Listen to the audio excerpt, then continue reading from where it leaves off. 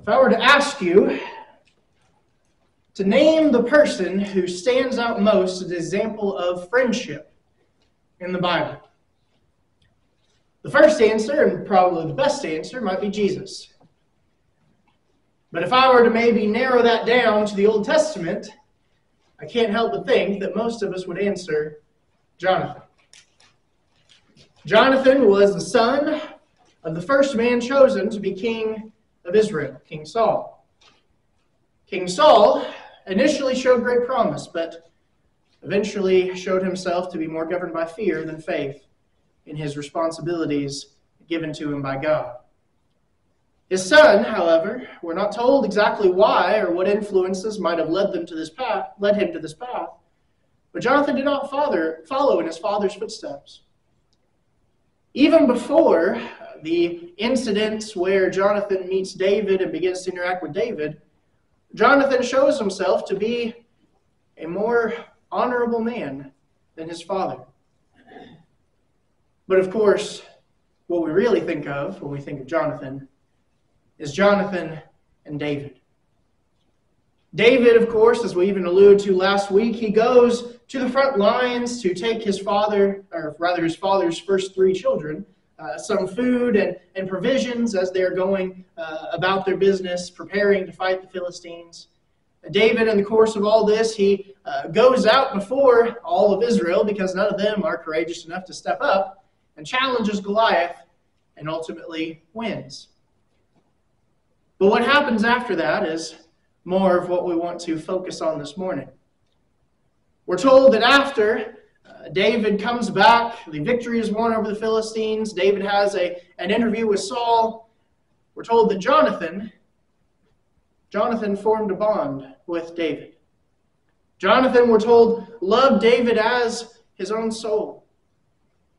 And as David was invited into the court of the king, to be his servant and eventually to be his best general, Jonathan and David became inseparable. Eventually, of course, the inseparable would be separated. David would have to go on the run because Saul sought his life.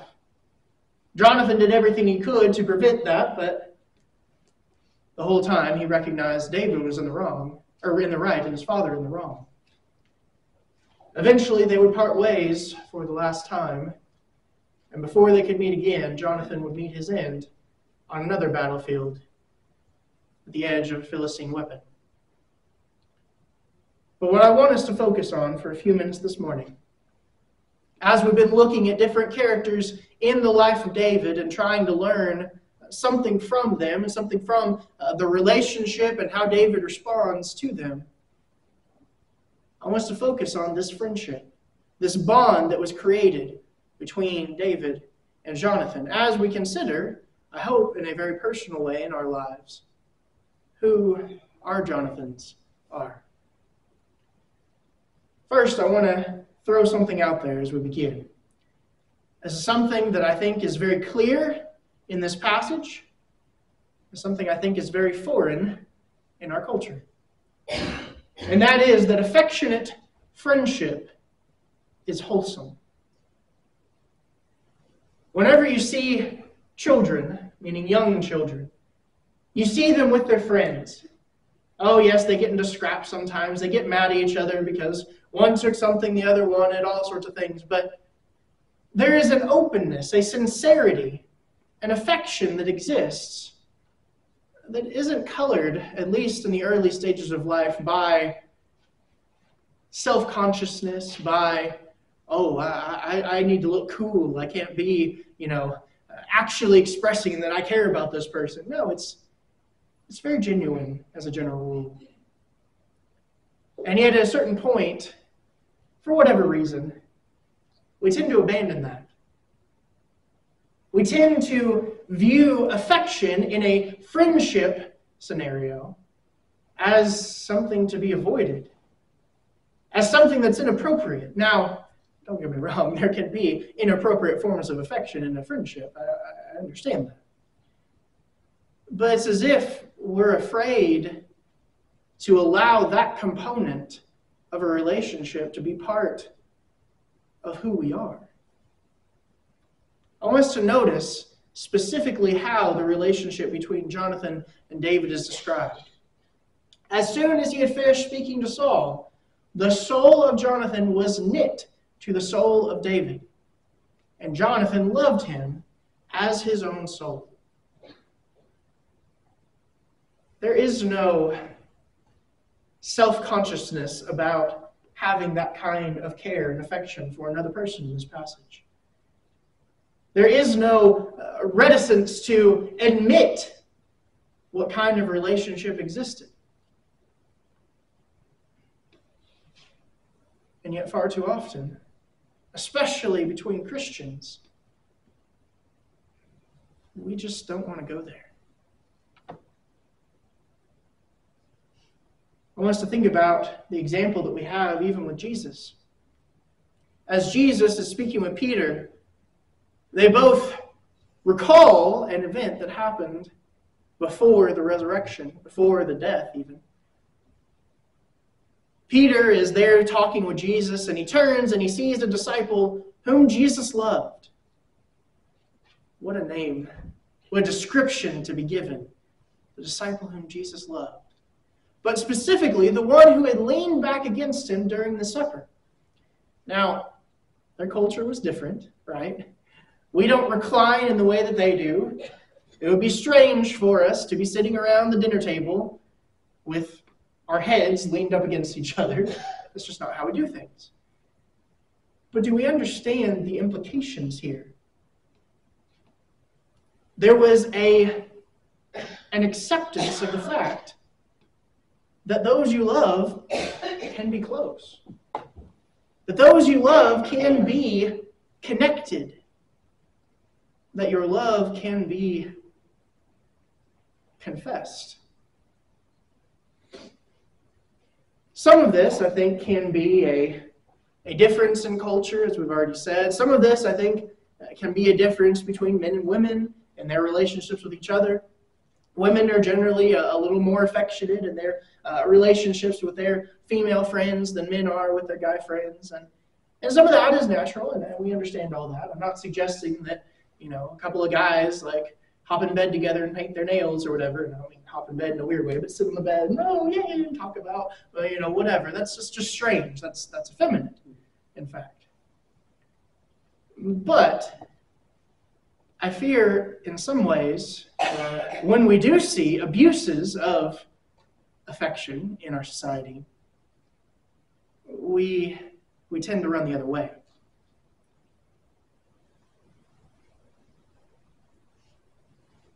Remember in Acts chapter 20, when Paul is about to leave Ephesus, he's gathered there with the elders of the Ephesian church, and it seems several of the members as well and they're going to part. They're not going to see each other again, probably, well, in fact, certainly, we know, looking back in hindsight, they're not going to see each other again ever, at least not until the next life. And the scene there is very touching. There was much weeping on the part of all. They embraced Paul, they kissed him, being sorrowful most of all because of the word he had spoken, they would not see his face again. There's something to be said, especially among Christians. Christians who are called to be kindly affectionate to one another. Christians who are called to be closer than blood family because of the spiritual bond that we have. There's something to be said for Christians being intentional about expressing affection in an appropriate way because of the bond of friendship and fellowship that we share. In fact, I would argue if someone does not, at least one person, does not express that kind of affection, it can become very unhealthy very quickly. To live a life without expressions of that person cares about me and is not afraid to express it and admit it. I don't know that David would have made it through one of the most trying times of his life without the open and caring support of his friend Jonathan.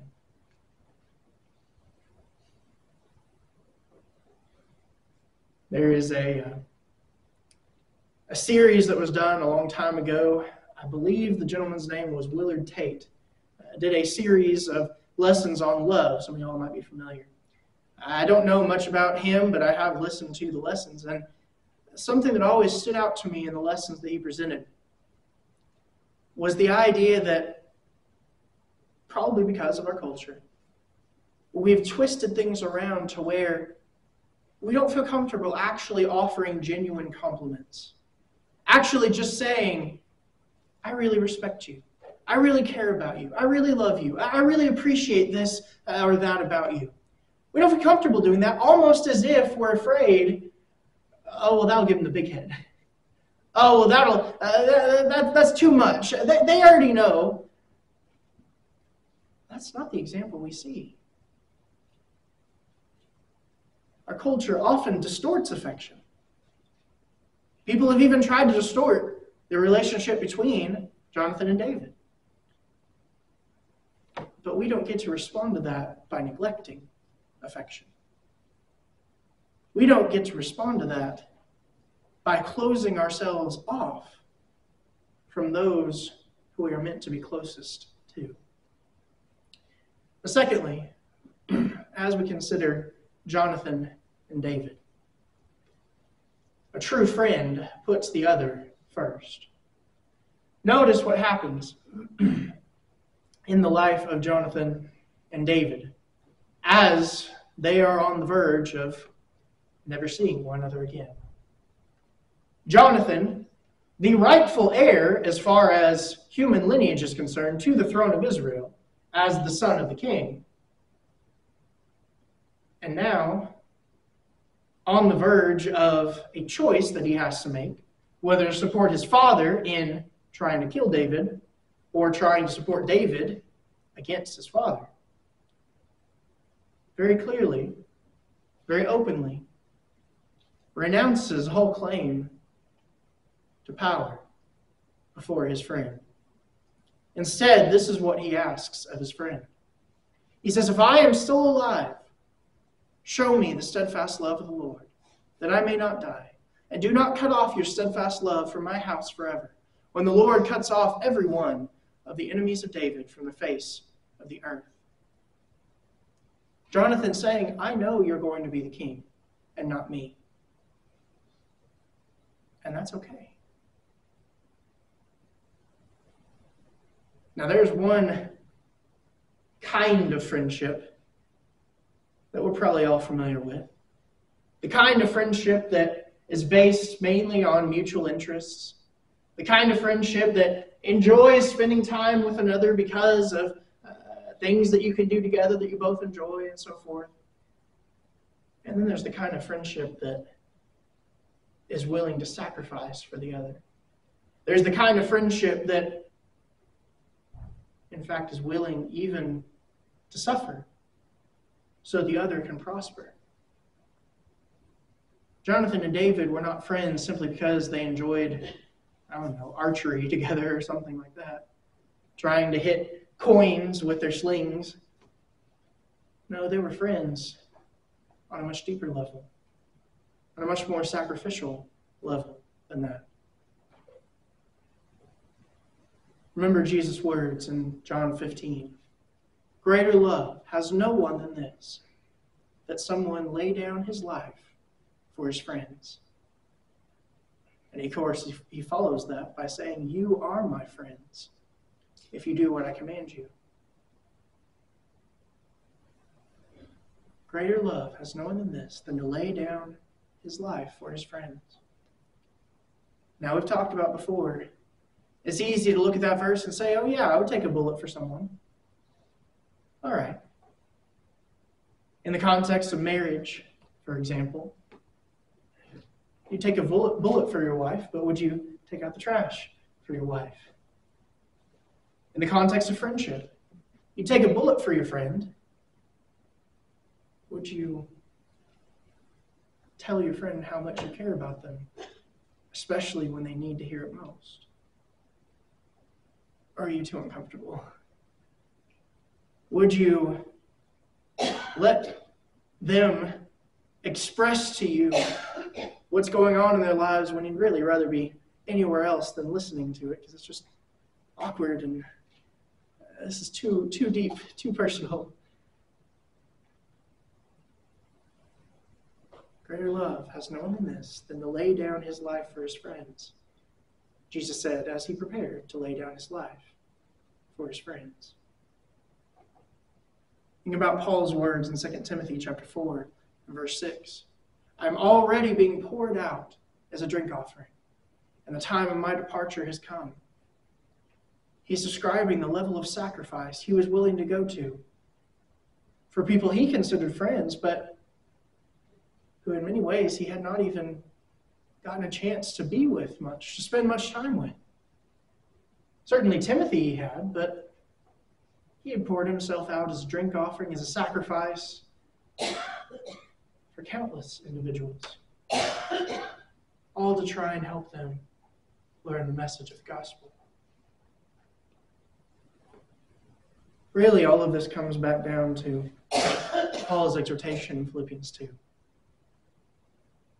It's something we have heard many times, I'm sure, but there's a big difference between hearing it and putting it into practice. Do nothing from selfish ambition or conceit, but in humility count others more significant than yourselves. We do realize this is completely and totally opposed to what our culture teaches us to do. I hope. Our culture teaches us that while yes, being good, being generous to people, that's that's good as far as it goes, my job ultimately is to make sure that I stand up for my rights. My job ultimately is to make sure that I stand up for what I'm owed. Jesus says no. Doesn't matter what you're owed, doesn't matter what your rights are. Your job is to humbly count others more significant than yourselves. Your job is to put others in every possible way before yourselves. That's what a friend does. That's what a neighbor does. In ladies' class this week, we looked at the parable of the Good Samaritan. And one of the things that stands out in that parable is that from the Samaritan's perspective, what made that injured Jew a neighbor was the fact that he needed help. And that's what the Samaritan did. He put that man, a man who hated him, a man who wouldn't have done the same for him, most likely, he put that man before himself. As a true friend, I should want the other person to be more successful. I should want the other person to have things I don't have, to be blessed in ways that I'm not blessed. I should want the other person to surpass me. Many parents have told their children, I don't want you to be like me. I want you to be better than me. And that is a, a natural desire within parents. But it should be a natural desire within all of us in every relationship. Not that we don't want to do our best, not that we don't want to grow as much as possible. But once I know I'm right before God, my priority should be the other person. Thirdly, we all need that friend. That friend who is willing to sacrifice. That friend who is not afraid to tell them to tell us that they care about us. We all need a friend like Jonathan, whether we admit it or not. This is David's lament after Jonathan meets his end on the battlefield with the Philistines. David says, I am distressed for you, my brother Jonathan. Very pleasant you have been to me. Your love was extraordinary, surpassing the love of women. Now, two things we want to note here. Number one, people have tried to uh, interpret this in some kind of twisted way in terms of the relationship between David and Jonathan. That's not what's being said here. And number two, we also see a little bit of David's flaws because he didn't exactly have the best track record in his relationships with women. But the point here is actually very valid. For those of us who are married, have been married, there is a bond, a, a relationship, a friendship even, that is created with that other person, unlike any other. And that's the way it should be. That doesn't mean you don't need other friends. I think about my best friend. I don't hide things from Liz. But there are times when I can have conversations, when I can be lifted up and encouraged by my best friend in a different way than my wife. And that also relieves her of some of that burden. My wife's best friend, the same way. She's able to talk with her in a way that, not that she's hiding anything from me, but it goes back to Solomon's statement about iron sharpening iron. We may have wonderful family, wonderful parents that we can talk to and get advice from, a wonderful spouse that is literally our soulmate through life. But we need friends too. We need those people like Jonathan that can provide something that no one else can. Solomon would say in Ecclesiastes, two are better than one because they have a good reward for their labor. For if they fall, one will lift up his fellow. But woe to him who is alone when he falls. Again, this could apply to a marriage type relationship, I think very rightly so. But it should also apply beyond that. In fact, he goes on to say a threefold cord is not quickly broken. We're not in any way excluding this to a romantic type scenario. Solomon, in his wisdom, is telling us we need people. We need friends. Because if you try and go it alone, you're not going to get very far. Paul would say to the Thessalonian church in chapter 5 and verse 11 of the first letter Therefore, encourage one another and build one another up, just as you are doing using that building analogy. If we're supposed to be growing as Christians, and it's very clear in Scripture that we are, don't we need to be built up by others? How are we going to grow otherwise? Oh, yeah, I can build on my own foundation, but I need someone there helping me. That's why the Hebrews writer would say, Let us consider how to stir one another up to love and good works. Well, I can stir myself up enough. No, you can't. I'm sorry, but no, you can't. We're not that skilled as human beings. As much as we, again, culturally, glorify the idea of self sufficiency and independence, we're just not that good. We don't have that level of ability. If we're going to accomplish something, we need people helping us in that effort. And others need us helping in that effort. We can't do life alone. We need friends like this. We need the Jonathans in this world. I think about Barnabas in the New Testament, called the son of encouragement one who is by Paul's side throughout a large portion of his ministry, the one who convinced the rest of the church to believe this guy actually is legit. He actually has changed. We need those people.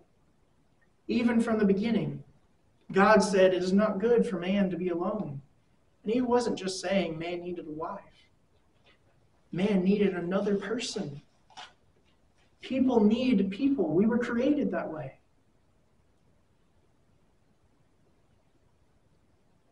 I would leave you with this thought. You might be thinking right now of your best friend or of a circle of best friends. that help you, that strengthen you, that comfort you. Or you might be thinking, I, I don't really have that. That all sounds really great, but uh, I don't really have anyone in mind that fits that description. Sometimes it's hard to find a Jonathan, someone who will be a friend, someone who will be like a brother. But the church is a great place to start looking. This is an environment that is designed to provide us with community, with support, with encouragement. And that is a privilege that far too often we take for granted. So, this morning, if there's anything we can aid you in, whether you're uh, struggling and uh, need the prayers of the church in some struggle you're facing, whether you are uh, struggling with something spiritual and, and need to study and understand more about God's will, whatever the case might be, we want to be Jonathan's and Jonathanas. I don't know what the female version would be. We want to be that in your life. We want to be that for each other. So if there is some way we can help you, please let us know as we stand and sing. They tried my Lord and Master.